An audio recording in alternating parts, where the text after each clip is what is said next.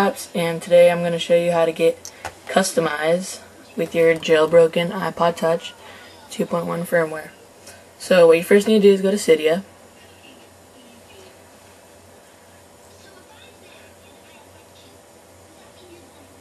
And then you want to go to sections.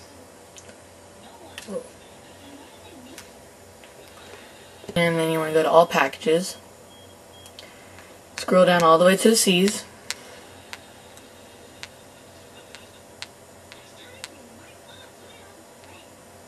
and right there. Customize and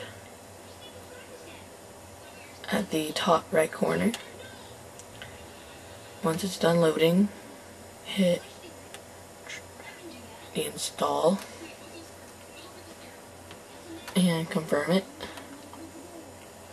And wait for it to run and load up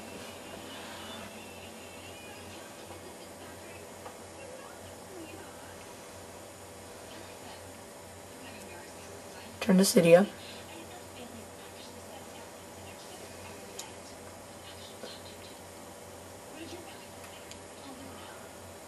And you can go back to the home. And there it is. And I like to fully turn off my iPod Touch. Just make sure.